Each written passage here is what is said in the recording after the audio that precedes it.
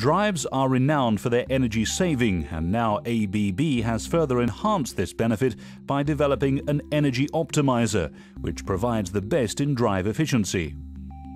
The Energy Optimizer is a software-based algorithm generated by a highly advanced motor model developed by ABB.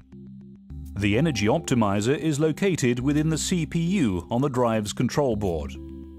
It works by adjusting the motor flux to such a value that the magnitude of current is minimized.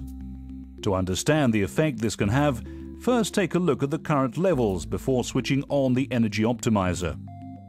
Before switch on, the current used by the drive is around 20 amps.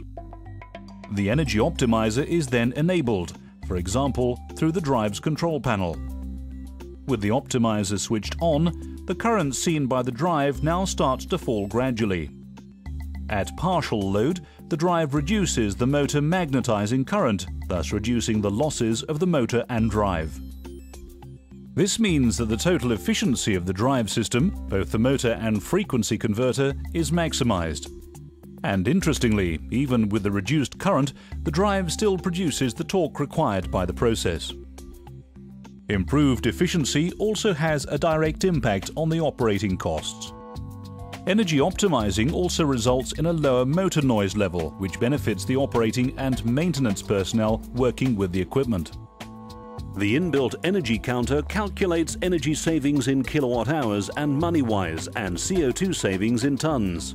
These are immediately visible using the drive's user interfaces. Here we see the consumed and saved energy in kilowatt hours and saved CO2 in tons, as well as the money saving. The drive also features a load analyzer which collects history data about the currents, powers, torques or any other user selectable drive parameter.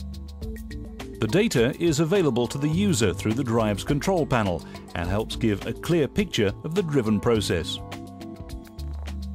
The drive's internal fan has an automatic on-off control which provides further energy savings by switching the cooling fan off when the drive is not active. This function can also be used for controlling the cooling fan of the cabinet, providing even more energy savings as well as reducing control room noise.